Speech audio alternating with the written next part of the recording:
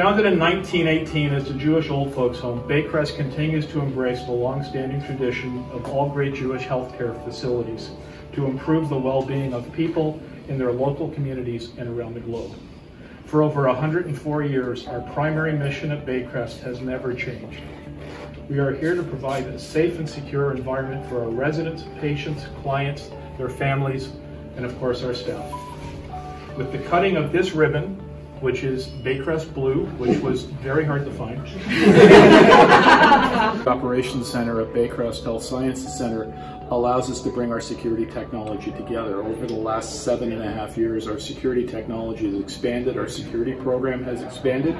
I had a handful of cameras and card readers when I started here, but we've expanded to the point that we needed to properly monitor and integrate our systems so that our cameras and our access control systems can talk to each other. So this is a, a giant leap forward from where Baycrest's security program was in, in 2015 to where it is today. It just means that we're now better able to secure our environment and ensure that we have a safe and secure environment for everyone that is part of the Baycrest community.